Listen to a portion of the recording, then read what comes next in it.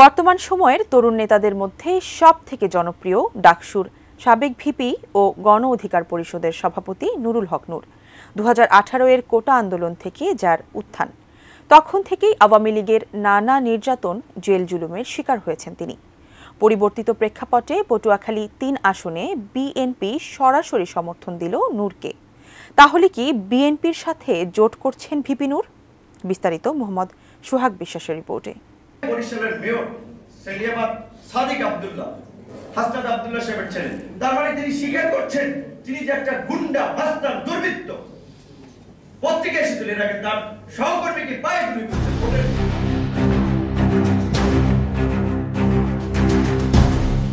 আওয়ামী লীগের আমলে নির্যাতিত নেতা ভিপি নূর। শেখ হাসিনার পতনের পর পেয়েছেন নিজ দল গণ অধিকার পরিষদের নিবন্ধনও। তবে এখনও কোনো জোটে যুক্ত হয়নি দলটি। মিডিয়া পাড়ায় গুঞ্জন আছে, জামায়াতের মহাজোটে যুক্ত হতে পারে ভিপি নূরের দল। তবে এই গুঞ্জনের মধ্যে প্রকাশ্যে আসে বিএনপির একটি চিঠি। যেই চিঠিতে পটুয়াখালী তিন আসনে বাংলাদেশ গণ অধিকার পরিষদের সভাপতি মোহাম্মদ নুরুল হক নূরকে সহযোগিতা করতে বিএনপির নেতাকর্মীদের নির্দেশ দেওয়া হয়। বাইশ অক্টোবর বিএনপির সিনিয়র যুব মহাসচিব রুহুল কবির রিজভি এমন একটি চিঠি পাঠিয়েছেন। এই চিঠি নিয়ে চলছে নানা আলোচনা।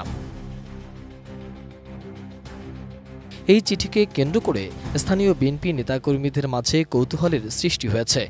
অনেকে পড়েছেন বিভ্রান্তিতে। সানবিট সব দিবে সামাল। Sunbit magic press. ডিশওয়াশিং এর মাথা ঘোরানো সলিউশন।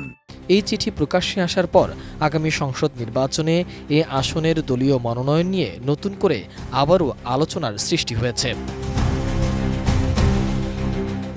নূরের গ্রামের বাড়ি পটুয়াখালীর গলাচিপা উপজেলার চর বিশ্বাস ইউনিয়নে।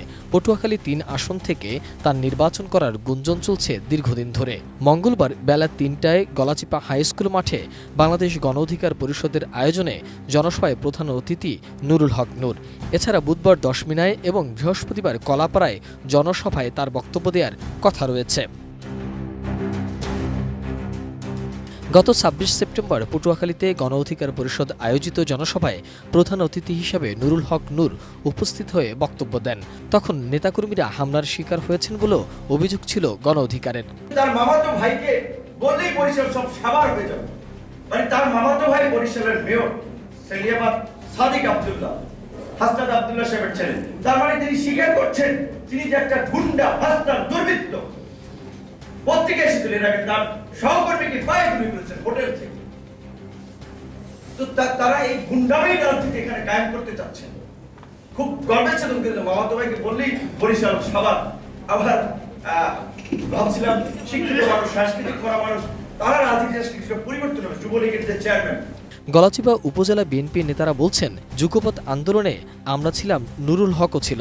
পটুয়াখালী তিন আসন নূরের এলাকা। দশমিনা ও গলাচিপা এলাকায় তিনি সভা সমাবেশ করবেন। এই সভা সমাবেশ যাতে কোনো ধরনের গণ্ডগোল না হয়, শুধু এ কারণে আমাদের সহযোগিতা করার নির্দেশ দেওয়া হয়েছে। আমরাও এ ব্যাপারে সহযোগিতা করব। হ্যাঁ আমি ব্যক্তিগতভাবে ওনার যুবলীগের দায়িত্ব নেওয়ার পর আশাবাদী যে এই যে ক্যাসিনো যুবলীগের তকমাটা বোধহয় কেটে যুবলীগ একটা সাংস্কৃতিক, একটা সামাজিক, একটা উদ্দীপ্ত সংগঠন হবে। কিন্তু তার বক্তব্য শুনেছি কি বলছে গণধোলাই দেওয়া হবে, রাস্তায় নামলে। মানে হচ্ছে একটা রাজনৈতিক দল হুমকি দিচ্ছে। সন্ত্রাসী কাদের রাজনীতি করবেন, এটা রাজনীতির ভাষা। তারপর আরও যারা যা বলছেন, সে তো বলে, কি বলব, সবাই সংক্ষিপ্ত জাতীয় নেতারা বক্তব্য প্রধানমন্ত্রী কি বললেন? এইটা কি একটা প্রধানমন্ত্রী বিপিনুর এককভাবে নির্বাচন করবে নাকি জোটগতভাবে নির্বাচন করবে সেই বিষয়টি এখনও স্পষ্ট না হলেও ধারণা করা হচ্ছে বিএনপির সাথে জোট বা সমঝোতা করে এই আসনে নির্বাচনে যেতে পারে ভিপিনুর এ নিয়ে সোমবার সামাজিক যোগাযোগ মাধ্যমে স্ট্যাটাস দিয়েছে গোলাম মাওলারনি তিনি বলেন, বিষয়টি সম্পর্কে আমি কিছুই জানি না, আর এটি নিয়ে আমার কোনো প্রতিক্রিয়াও নেই।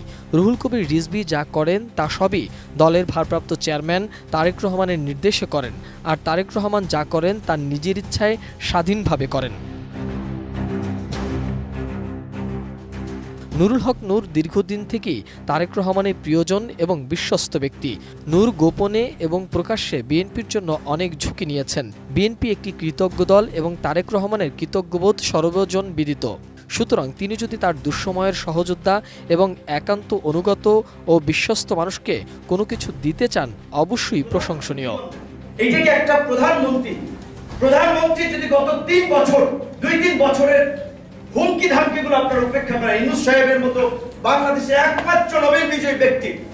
ডক্টর ইউনুস কারোর সাথে পৃথিবীর কোনো রাষ্ট্রপ্রধানের সাথে অ্যাপয়েন্টমেন্ট করতে তার ওয়েট করতে হবে না। ইউনুস সাহেবের কথা শুনলে তারা ওপেন তার জন্য ইয়ে করে দেবে, তার দরজা ওপেন করে দেবে। আর প্রধানমন্ত্রী বাংলাদেশের রাষ্ট্রপতি হলেন তাদের অ্যাপয়েন্টমেন্ট দিতে হবে দুই, তিন মাস আগে থেকে। সেরকম সম্মানিত ব্যক্তিকে পদে পদে কীভাবে নাজেহাল করছেন? দেখছেন আপনারা? মোহাম্মদ সোহাগ বিশ্বাস এটিএন নিউজ ঢাকা।